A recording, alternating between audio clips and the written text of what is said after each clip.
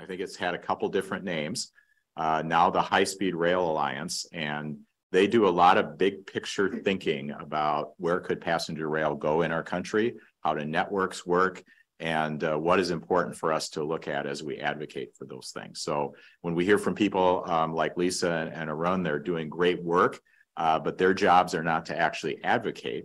Uh, but one of the things that organizations like the West Central Wisconsin Rail Coalition and High Speed Rail alliances to get out there, educate the public. So I think Rick has some really interesting things he's going to share with us. So would you also welcome Rick Harnish? Rick? Thank you very much for having me. Thank you, Roger, for getting me out of the house. It's harder, you know, it's, it's hard to just stay home and watch Zoom. So I appreciate the opportunity to get out and, and see the world.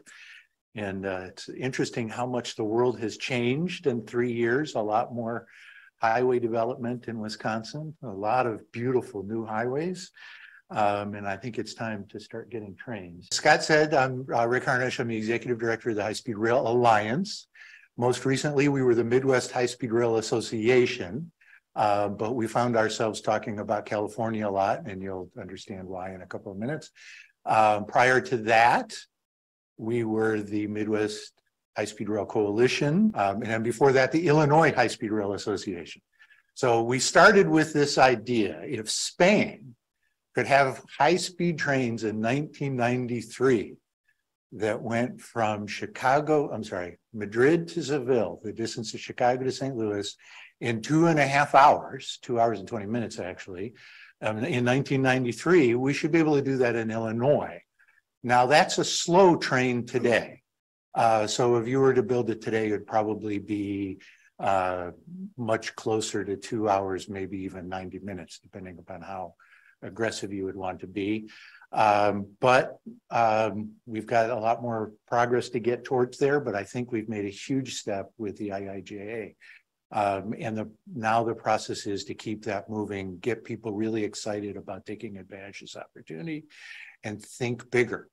Um, the reason I'm in this is because I like when I can walk to go get a gallon of milk. I like to be able to take a bus to go see my friends. I don't want to have to get in a car the whole time. And when you are doing these things, when you're walking, when you're taking a bus or a train, you see more people, you have deeper relationships, this the community itself is much stronger if people are interacting as they're traveling and not stuck in their little cocoons. Um, if we can switch a lot of car trips to bus and train trips, uh, we will do a lot towards uh, reducing our carbon footprint. Um, and third, I, the one that really gets me going is um, I think there's a very strong case to make. And in fact, there's a, uh, an organization called Strong Towns uh, there's a very strong case to make that our current development pattern is actually bankrupting our cities. Um, and if we don't figure out how to get people on transit, our cities themselves are going to be in much worse shape than they are today um, in about a decade or so. So to me, this is incredibly urgent. Um, in my view, we've got to figure out how to be talking about four or five trains at a, at a, a swatch and do it every couple of years as opposed to one train every 10 years. And, and we've got some work to do there politically to get there, but we can get there. This is the first class section of Brightline in Florida. And I want to point out that Brightline launched with hourly service. They didn't launch with one train and then see how it worked and then launch another one, right? They launched with hourly service.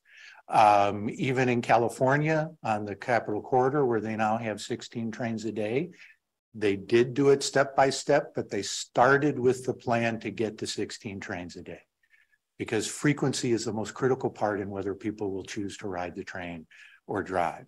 So you've got to know how you're going to get that frequent service. And on high density corridors, that's probably an hour, uh, train every hour.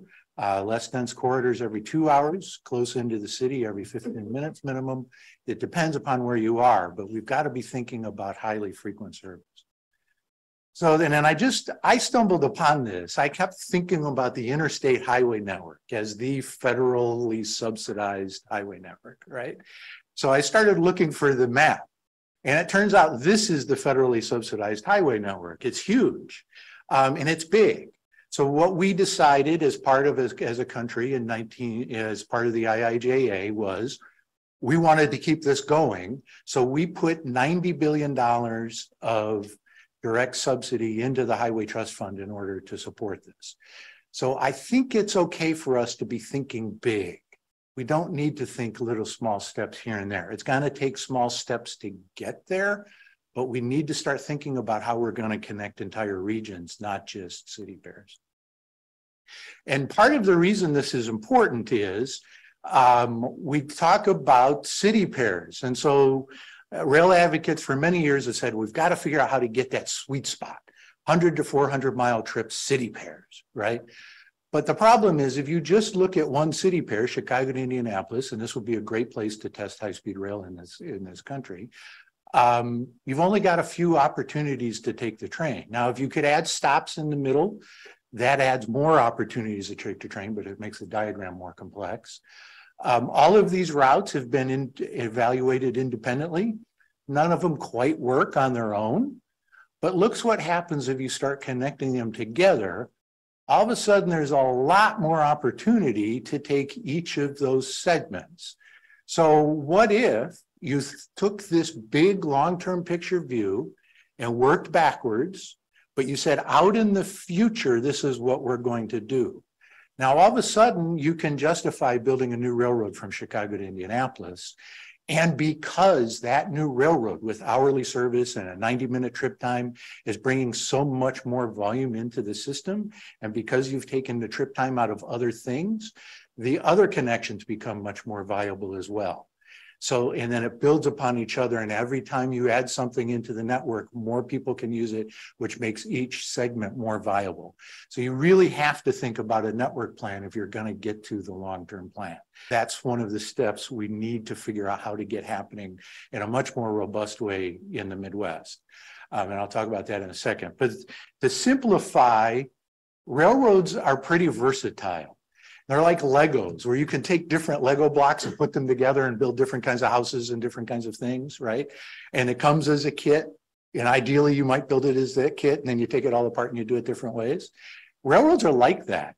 So, say you've got a right of way that's out there, maybe you can move all the freight trains someplace else and make that a passenger dedicated main. Maybe you need to build a new railroad. Maybe it's okay to work with the freight railroad to figure out how to run a train every two hours at no faster than 80 miles an hour, right? We don't know, but we know that these pieces can, can come together in different ways depending upon your needs and your assets. Uh, but to simplify the discussion, I've narrowed it down, and this is very similar. So in the Midwest Regional Rail Plan, they talk about core express, regional, and emerging. They're talking about service levels in that.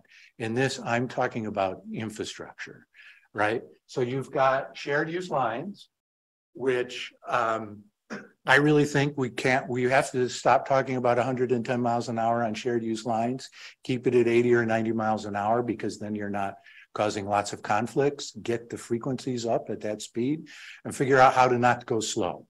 Um, but there are lots of cases of shared use lines working around the country.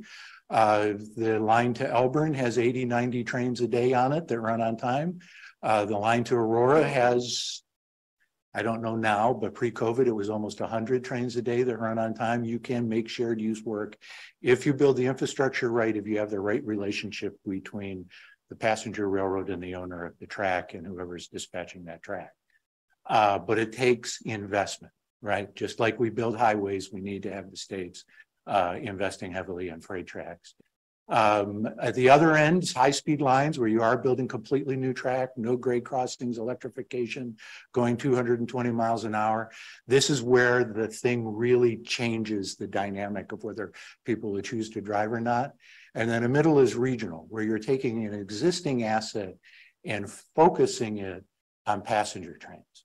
Um, and so the Northeast Corridor is one example of a regional line in this country where there's still freight trains running on it. There's a lot of mix of stuff, but we've got high speed trains running on the Northeast Corridor. So because you have to have a different kind of train to go fast than you do to run on freight tracks where the track is really rough, um, you've got a challenge where the high speed trains can probably go on regional and um, high-speed lines. And then the freight trains and everything else can go on both. There's that kind of this overlap. Um, but unfortunately, you can't just have a high-speed train go everywhere, which would make a life a lot easier if you could. So just as a quick aside, the best study I've seen, and this is not a study formally that a government entity paid for, but this is the best assessment I've seen of where this country should be building new high-speed lines. Um, it's pretty close, I think, and the FRA actually did a Midwest plan and a Southeast plan. Um, and I think if they were, to, and they they actually have in the FRA plan, um, Minneapolis to Miami, new high speed line, right? Now, again, we don't know how we're going to get there. It's kind of, it's not really a plan, it's a framework, but we're starting to see where it makes sense. I think if they did a national plan, um, you would end up with something like this. But I wanted to point out, you guys have one here that could be the trunk line of something great. And unfortunately, there hasn't been any real planning work done on it since the 80s slash 90s. Uh, but it's there if we could get the momentum going to get it started. Um, and then, so this is the FRA plan. It's more of a framework. Um, and you can see again that they are saying that it certainly that it justifies having a new high-speed line um, between Chicago, Milwaukee, Madison, and, and St. Paul. Uh, where those tracks go, we don't know. I imagine it takes some sort of regional line from Milwaukee and Madison, probably both into Chicago. But again, this is something that's an opportunity out there if we can start thinking bigger. When we talk about high-speed rail, we have to talk about foreign countries. Um, so today I'm going to talk about California. which is pretty much as foreign as you can get. So in 1990, a coalition was put together. The bill passed in 1990, which invested a very large amount of money in their shared use network. So they built commuter rail networks from scratch that didn't exist before. They took the one or two Amtrak trains a day that were running and they ramped them up, right? So they've been working on this now for 30 years. Um, and they've got the kind of network that I wish we had in the Midwest. So this is my son some years ago um, getting on the Surfliner um, uh, in Oceanside, where there's a connection to buses and a local train and other things. Um, so they are much farther ahead than us. And so there are lots of lessons, both good and bad, that we can learn from them. One of the lessons is what to do with shared use. So this is their shared use network. Uh, both the commuter rail and the Amtrak services all in one place in blue. Kind of the orangish is the Amtrak single, the national trains that go once a day. And then the yellow is connecting buses. So today it's slow and sometimes doesn't quite work for the, but you can get anywhere in the state by a combination of bus or train for uh, when I say anywhere, most of the major cities. Um, and so all of these buses are coordinated with the trains so that you have one ticket to go from one side of the state to the other. Um, and this is very well coordinated. Uh, what they ended up doing was splitting their Amtrak contracts into three so that you've got the Central Valley is worried about its Amtrak and commuter rail services. You've got LOSSAN down in the southwest and then uh, Capital Corridor across the top. So this is what we should be working for very quickly in the Midwest. We've got a challenge. This is one state. We need to make Wisconsin work. We need at least three states and probably Michigan, right? Um, so it's a little bit big a challenge. One of the reasons we're so far behind, but this is where we need to get to. And I want to point out this line down the middle I drove one day from Sacramento, I actually split it up, Sacramento to LA. And I was amazed how much it looked like the Midwest, except it was dry and there were mountain ranges and there was Chinese quality air. Um, but in terms of the way the cities are developed, it's like the Midwest. Um, and so I want to point out on a single track shared use line, they have a train today and they've scheduled them every two hours and they know where they're going to add those next two hours. Uh, Pre-COVID, they were about to go to nine. Um, and then they've scaled it back. But again, we have to start thinking about frequency and making this work um, in terms of being having different choices to go. And I want to also point out there's an early morning 4 a.m. train. Um, so we've got to think broader than just one or two trains a day. And it's very, very doable if the state invests the money that it needs to do. So something along the lines of a little bit more than what you pay to mow grass on the highways. Also in 1990, they started designing high-speed rail. The legislature hasn't been fully committed to it. Um, so they delayed the process by a couple of years, but they did this past year recommit to building high-speed rail. Um, and so if you come back to this network, you'll see there's a missing gap in the shared use network here. And there's also one between Merced, Fresno, and San Jose. Those are really important links in the system that don't exist today.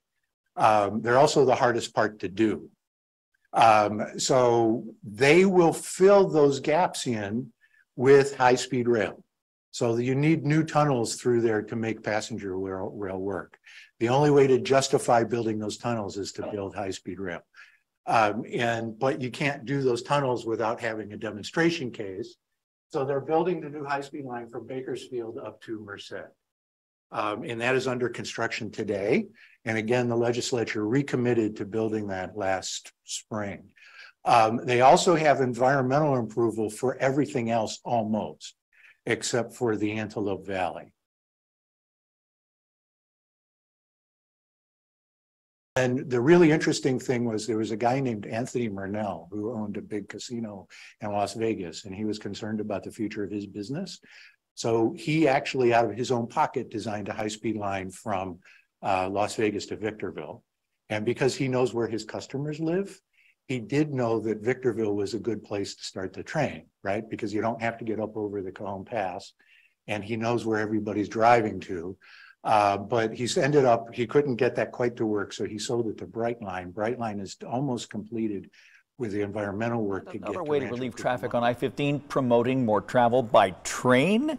Yep, last month the company Brightline signed paperwork with the state of California to expand a high-speed rail line from Rancho Cucamonga to Victorville and on to Las Vegas. Brightline says the trip would take around two hours. Yesterday, Governor Newsom mentioned that it's a private venture and the pandemic has caused even more delays. Then here's what Governor Sisolak had to say. I got here in 1976 and they were talking about a high speed rail between California and Nevada. And they're still talking about it, but we're making progress now.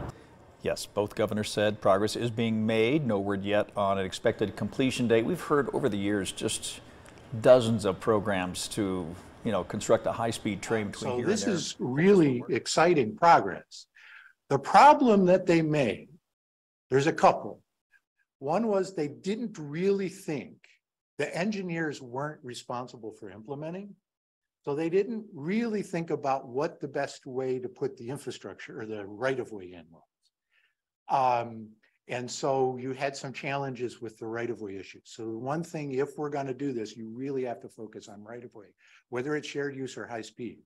Um, and then the other that they did was they ran high speed rail as a parallel separate entity to the rest of the program. But finally in 2018, they brought that all together. So what they did, and this is the only time this has done been done in this country, they took this is the network. So they have took a whole, the whole state and they planned for twenty forty what the train schedule is going to be so that they could work backwards and say, how do we phase this in? Um, and you can see that high-speed line there. In this case, red is not high-speed line, it's high-speed trains. And there are some cases where they're operating on regional lines. Uh, but that high-speed line down the middle of the state is what makes the whole program work.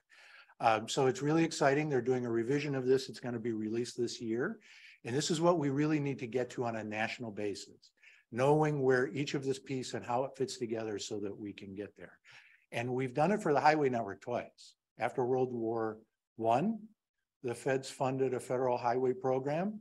And then in 1956 again. And by the way, we increased gas taxes by the roughly the rate of 60 cents in today's money and 56 to do that. Um, so this is the part that really excites me. Here you've got uh, rail ridership today, county to county. So roughly it's southern counties to northern counties. And Fresno here on this, the, the lines are so small that you don't see the Fresno line. So for the Midwest, Fresno's a really busy Amtrak station, but it doesn't show up on this map, right? And the reason not is if they only do, this was the twenty eighteen plan and their plans have changed a little bit. But if they only did in a disconnected way, what was planned in twenty seventeen, this is what you would get. And now you see the northern, the rural counties up there are starting to be a lot more feeder bus service. But if you coordinate things, make sure there's a unified ticket, make sure that when the bus comes into the station, the train is waiting there so that you can get on the train and go. You basically start connecting the whole state. And up there at the top are some really rural counties that start to see real bus ridership because that whole system has improved in order to make everything work much better. And that's why we've got to start figuring out, even though we've got the challenge of multiple states, how to start doing these regional rail plans um, in the national level, the state level, regional level in the mix, and then local level for transit. So what might this look like for Wisconsin? Um, so we've got here, and I apologize, we're playing with colors and this contrast doesn't work. But um, in the dark blue, you've got where shared use trains are running today. In the thicker kind of dark blue or medium sized blue, you've got um, what's in the state rail plan. And then the dotted lines are things that you look at the map and go, why isn't this on the map? So I talked about right of way. And the biggest challenge in all of this is right of way. And the hardest part right now is between a place called Rondout and um, Techny in northern Illinois. So what do we do about adding track capacity between Chicago and Milwaukee? Well, there's a line with no freight on it along the lakefront. So maybe after you do the ten trains a day, you start adding trains here. There's also a line with no freight on it to speak of up to Madison. Let's start thinking bigger about how do we get places like Croc County in or Racine or such. Let's talk about a lot more bus service across the whole state and actually have the state fund a statewide bus system. Not on piecemeals. It's, you know, you've got a decent route network today. And it's amazing how much of that you can buy on the Amtrak. You can, you can buy an Amtrak ticket from Madison to Neiman um, which I find really exciting, but it's only one bus a day. Well, let's get that to four or five. Um, start working out how this all works together and start phasing it together. This is where we need to start heading. The challenge is we've got to make progress today. Um, so while we're both talking about this vision, getting people thinking about this vision, we also need to make immediate progress and we need to think and run at the same time. Um, I'm not sure that's the right phrase, but I, I hopefully you got your point. The other thing that happens with this statewide plan, up there, they need bigger connections or better connections. And right now, if the framing is Madison to Milwaukee, why should the state invest in that? That's one part of the state. If you're talking about a statewide vision where the entire state is much better connected together as a single state, then I think it becomes much easier to talk about a real program. Um, and if we're going to have good passenger trains in Wisconsin, the state is going to have to invest money. It's going to take a lot of time. We've basically got two years to build a strong coalition statewide um, in order to start getting the state to invest real money in, in this program. Um, so that's that's kind of the vision where we could go. If we don't have to, but it's my idea of where we should go. Um, and if there's any questions, I'd be happy to answer them. Well, I'll ask, ask mine here. So, so Rick, I think if you talk to the average person in Wisconsin, the high-speed rail program in California is just a big boondoggle and a waste of money. What is your response to that? It is easier to be against something. Um, when you're the first, it's easy to make mistakes. Um, and it's interesting, the real delays have been the Democratic legislature not taking the steps they need to move it forward. So uh, the opponents can talk about, you know, they actually, it's frustrating because they talk about the wrong things. So if you saw, there was a New York Times article six months ago, which had the completely wrong story. But so we can't learn from the things that they really did if we are focused on the, on the errors in the New York Times article. But here's when people fight about things and when people start calling things boondoggles is when it's important. You don't fight about, and you don't complain things about things that aren't important. High-speed rail in California is important and they've decided to move it forward and they're going to move it forward. Right. So Jackie's question for the Zoom audience, really two things.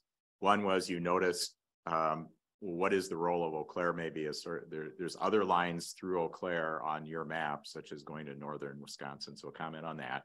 Uh, and then the Midwest Regional Rail Initiative was a number of states working together. How do the states work together to actually implement a plan like you're talking about? Um, so there were nine states involved. Unfortunately, a couple have dropped out. Um, somebody did a real number on on rail advocates in 2010. Um, they they were very effective in their campaign, whoever it was. Um, and uh, if if you look at how well it fit, I am convinced there was somebody who was behind that in some big way. Um, but you know, unfortunately, some states did drop out. Uh, we need to get them back. Um, and I think we're we're in a position where you know um, when I left Chicago on Wednesday, it was spring weather in January. Um, I think that issue is getting harder to ignore. Um, so we do have some work. There are lots of people who want trains. Um, we can make it work. Uh, if if we keep working on small steps and big vision at the same time, we we definitely can do it, and we can get some of the other states involved. Wisconsin's a huge opportunity. I'm excited about how Wisconsin can lead the other states to do something. Um, and there was another piece of it. So Eau Claire has a couple of roles to play in, in a number of uh, very important ways. One is that right-of-way issue. And so, um, you know, where do you put more tracks to run much more frequent service is a challenge. Um, and so Eau Claire is sitting on that. If you look, there's just this funnel here. Right? If you come up this way, you've just got Portage to Camp Douglas where you're kind of you've got a funnel of where you've got a really busy freight line. So that's so that's one opportunity. The other is that is the jumping off point going the east to the east from you. Um, I want to point out that I went to a conference in Escanaba uh, last summer, and I was surprised at the air service uh, to get to Escanaba and we did some research into how much the feds were paying to run airplanes there and how bad the service was uh, for that cost. And um, you've got a problem again. That's Michigan now, so you're bringing in other states. So what do you do about that? But we've really got to figure out how to get the UP involved as well, which then again ties this whole thing together in a very different way. I think the question is, have, has the High Speed Rail Alliance done any work on return on investment for these investments. Um, and uh, we did do that for a base high-speed rail network in 2011, 2012. Um, and that's downloadable from our website. We haven't done it for any of the other things, would love to, uh, a little bit beyond our scope. The things that we can do at this time um, are we can provide a much more optimistic voice for the media. So if, if if you can't talk to the media, but somebody needs to, we can do that. Um, we can keep uh, folks like you engaged in what's happening, um, and we can support the businesses who want to do it. I would love to do some more of that return on investment work. Um, and if you know somebody who's willing to make a donation to do it, yeah, happy to do it. We appreciate Rick's uh, positive comments about Eau Claire and the development and uh, we've looked at, uh, we, we are sort of presuming the station will be downtown, but one of the, the things that will come out of all the studies and et cetera going forward is just where to put it. Um, and if you really think train stuff's exciting, or you really like getting into government policy, we're gonna be doing a zoning code rewrite in Eau Claire in the next year and a half. And it sounds.